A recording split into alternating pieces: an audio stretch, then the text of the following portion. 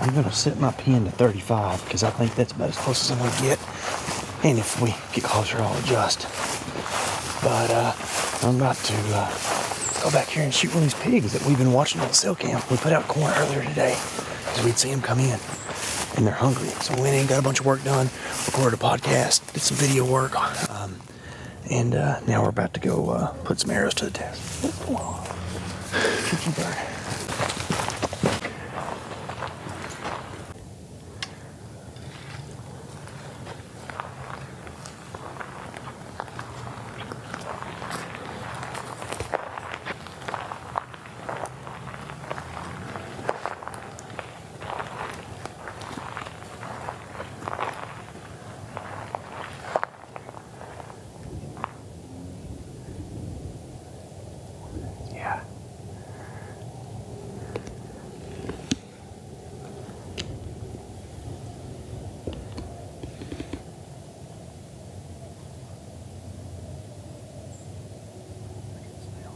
Yeah.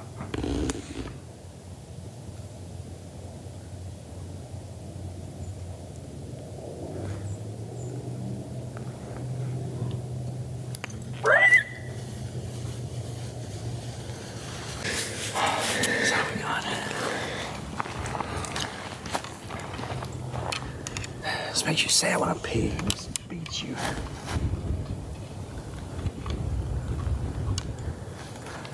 I should have known that when we got up here close to the timber, it would kick more out of the east. Oh well. They'll be back.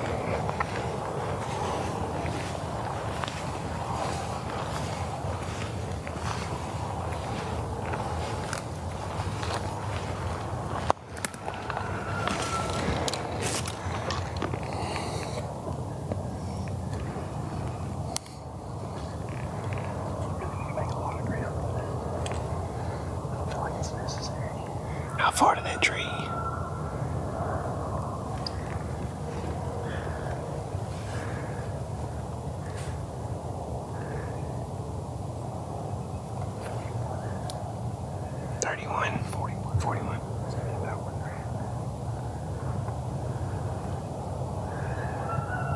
Don't go out there and loop around.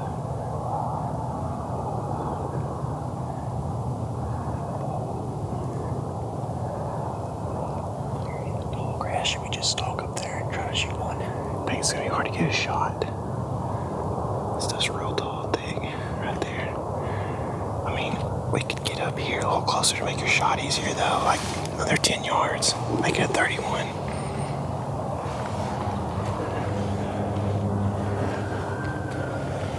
You see him? Yeah. I can put on a fixed blade and shoot one out there. I mean, there's no need to force anything here. If we don't get a shot, it's better just to save them than to make a kind of not so good shot. We know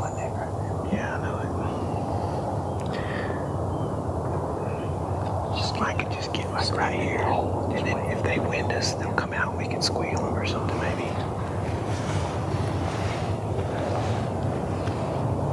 Yeah. There's one right here. See it? Moving. Sure enough, I'm tiny. If I get it to a tiny 20 yeah, hours, I'm gonna shoot it.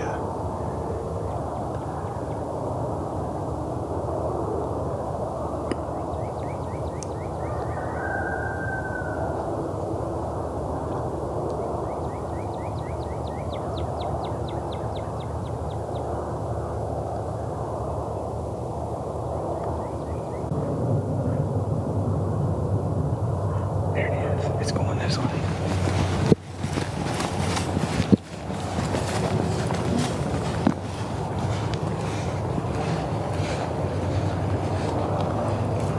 Let's see. Do I see a peak right there? Yeah, yeah, it is. It's moving. Right there. Yeah. There's two. There might be. There's two of them actually back in there, I think.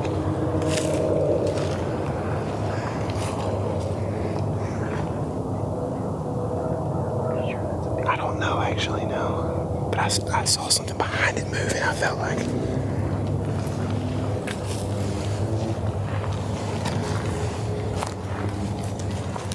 Yeah.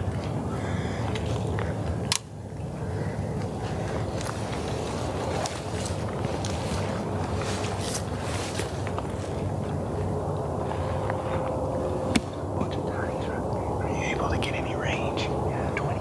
Oh, really? Dadgummit.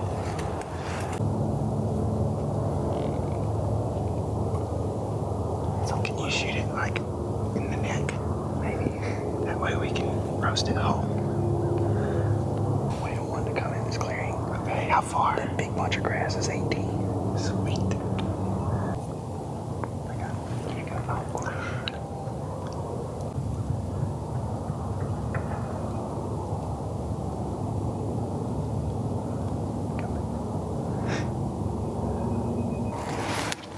Okay, I'm on him. Forward. Right here, coming at you. There's a black one.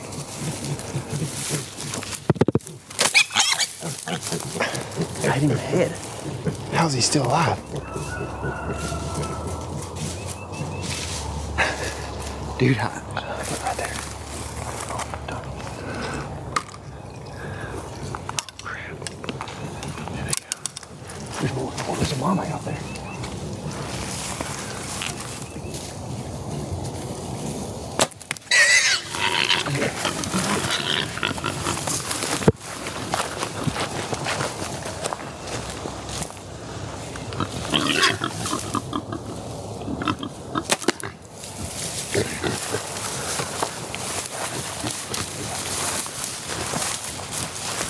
Coming.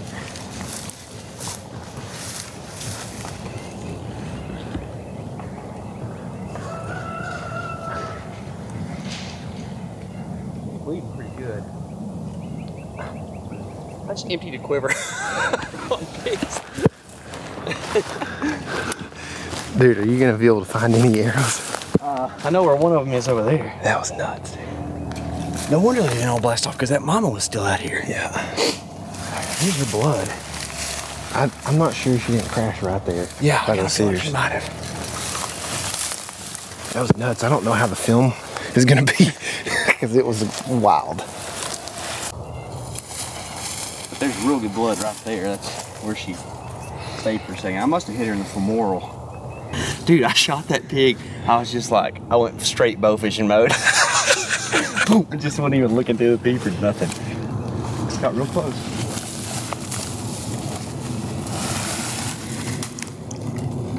Well, look at this. We're trying to get it to come out on the other side of this partridge pea. So, see those two cedars? Uh huh. That's where she went, right in between them, and hit that oak that's got some leaves on it. She was running sideways. She, I, I saw her hit that oak. She went down this trail, I believe.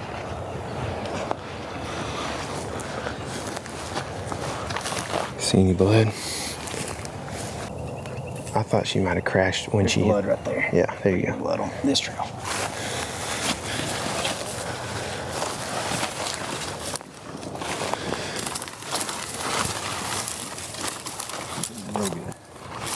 But we don't know. She hit that, that oak tree right there. see there. real good blood right up in there. Looks like a lung blood.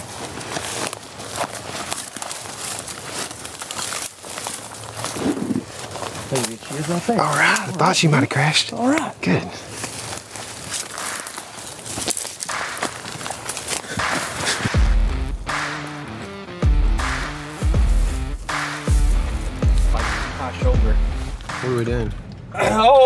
Taking the buck truck back here to get a pig. I guess it will be the pig truck for the day. We were trying to shoot only small pigs after the big pigs smelled us and took off with uh, all their shoats, and there was still like I don't know a couple of them hanging out out there in the tall grass. Well, I shoot a small one and miss it barely high, and then they all freak out. I take a running shot on a little one and barely nick him, didn't get him down. But then we take off running further to go chase some more, and all of a sudden a big pig comes out of the grass. And I'm like, there's a mama! so Tyler and I take off running, and I take a running shot at that hog and took her down first shot, and then had to go finish her off. She took off running again, and then she crashed right in the woods. We're gonna go get her and probably stick her in a brine and eat some delicious hog here pretty soon. How weird is it we were sitting around the whole time thought this is I mean just the situation just screams sow, you mm-hmm. know?